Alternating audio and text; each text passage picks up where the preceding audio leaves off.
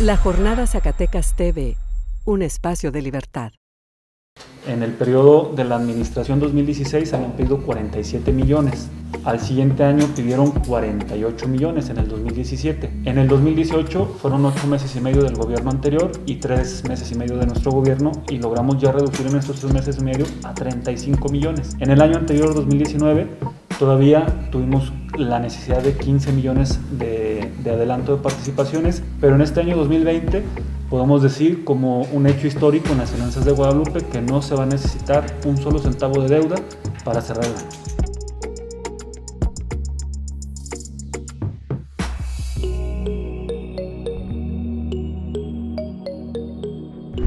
Pero a veces con mucha honestidad en el manejo de los recursos, sin robarle a la gente, y hoy el dinero está donde debe estar, en el pueblo de Guadalupe, y este es un claro ejemplo de ello. Imagínense ustedes un dato, estamos en crisis económica en todo el mundo, estamos en pandemia en todo el mundo.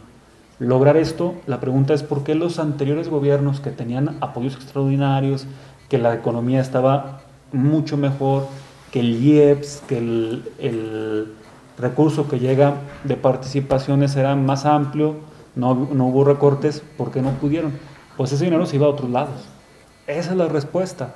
Debo reconocer también a todo el equipo de Guadalupe, de aquí del ayuntamiento, la gran visión que han tenido, sobre todo tesorería, pero todas las áreas, de hacer un manejo ordenado de los recursos públicos y también debo de agradecerle a la ciudadanía.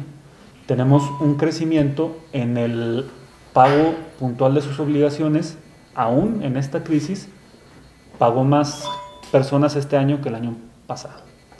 Y esto tiene que ver con, derivo yo, un tema de confianza en las obras que hemos hecho, en las acciones que hemos realizado y en cómo nos hemos conducido.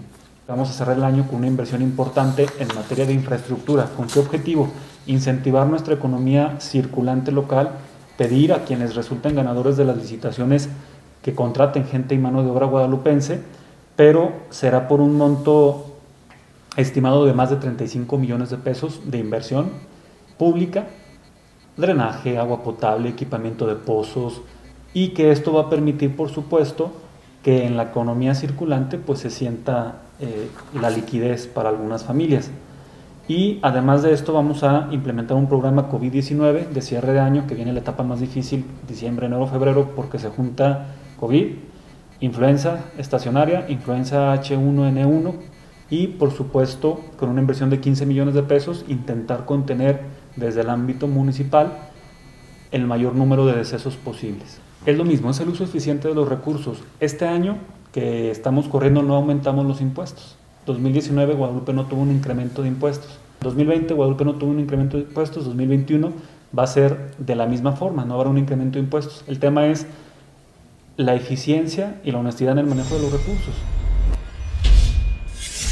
La Jornada Zacatecas TV, un espacio de libertad.